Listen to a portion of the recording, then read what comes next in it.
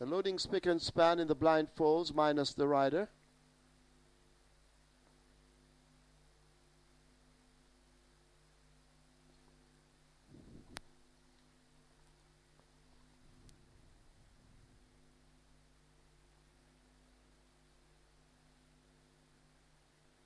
waiting on spick and span to get into gate four.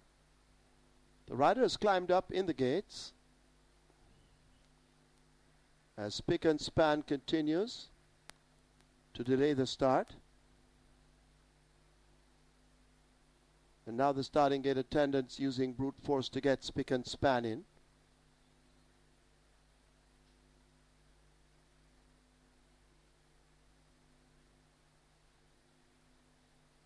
But spick and span fighting them off all the time.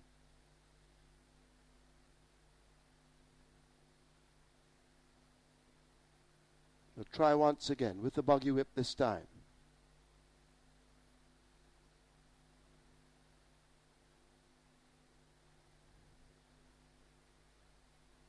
But still, Spick and Span refuses to enter gate four.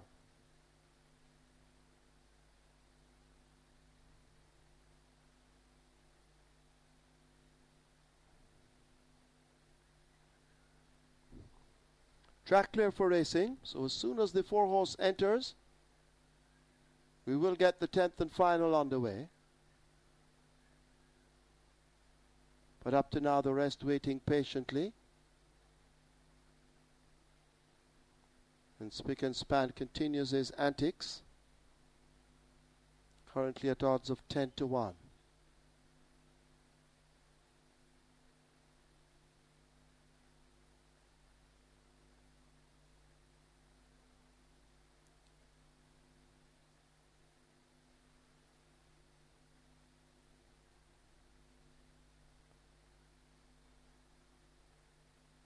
Now they've gotten spick and span in. Shane Gordon will climb on board. Field in line for the 10th and final.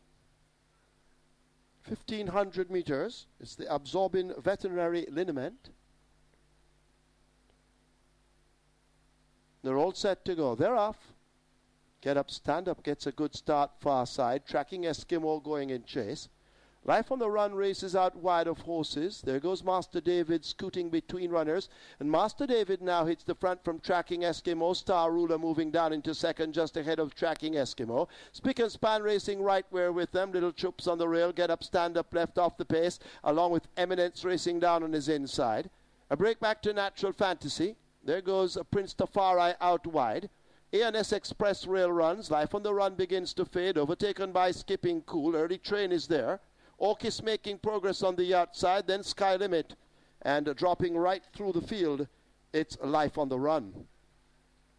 They've left the half mile and run past the 716th. Star Ruler shows up now. He's spick and span, testing all the while.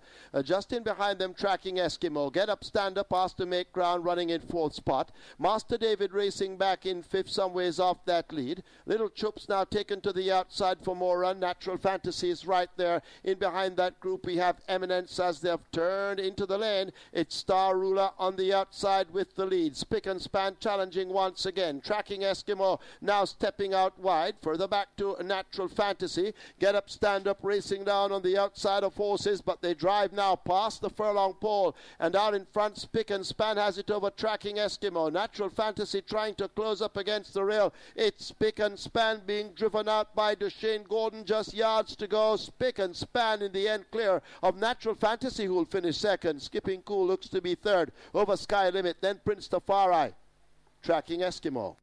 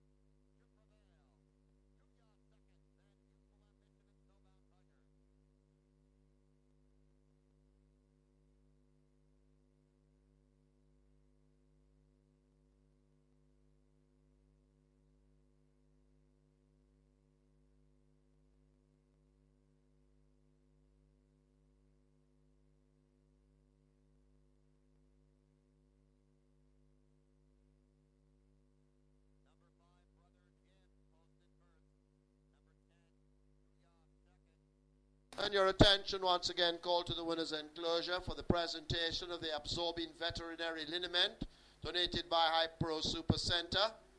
Miss Desiree Chaplin, accountant, presented to Delroy Smith, representing D&W Syndicate, owners of Spick and Span, winner of the race.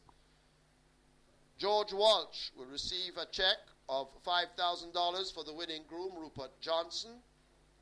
All owners who place first through third receive five, three, and two bags of feed respectively. Also a gift basket presented.